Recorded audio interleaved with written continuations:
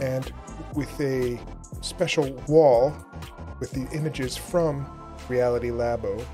we are creating a space where students can share, find, support the dreams, hopes, and aspirations of learning goals and potential things to accomplish before you graduate.